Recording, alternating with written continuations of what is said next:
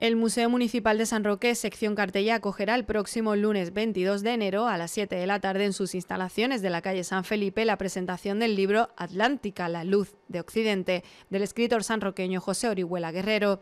Organiza la Delegación de Cultura que dirige la teniente alcalde Ana Ruiz, quien presentó este acto e invitó a asistir al mismo a los numerosos amigos y conocidos de Orihuela.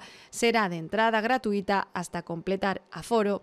El libro es el resultado de una investigación sobre la hipótesis que el autor define como creto atlantoamericana con la que se sostiene que se desvela la existencia de una civilización oculta detrás de la leyenda de la Atlántida. José Orihuela Guerrero nació en San Roque en el 61, aunque reside en la provincia de Huelva desde los años 80 del pasado siglo. Tiene la licenciatura en Filosofía por la Universidad de Sevilla y en Antropología Social y Cultural por la UNED. En el año 2007 obtuvo el título de doctor en Filosofía por la Universidad de Huelva.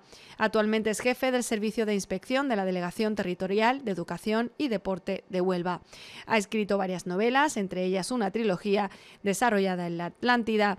También ha escrito libros de carácter filosófico-artístico, investigaciones sobre la Atlántida de carácter pedagógico y varios ensayos.